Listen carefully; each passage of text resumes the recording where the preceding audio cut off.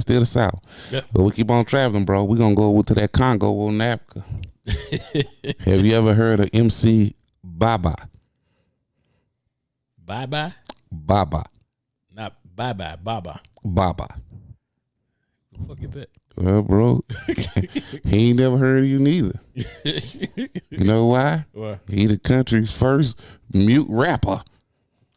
Making a lot of noise over there. Hey, all he says, "Ma, ah, ah, ah." If y'all see this, I'm laughing in silence.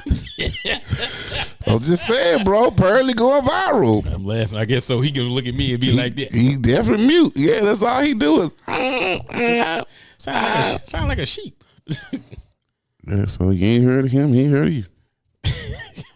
I will not take it personal. MC uh, Baba. well, yeah, good luck with your career, man. Wherever it leads you. In the words of a famous boy band over here, bye, bye, bye. I bet y'all the farm animals know what he's saying.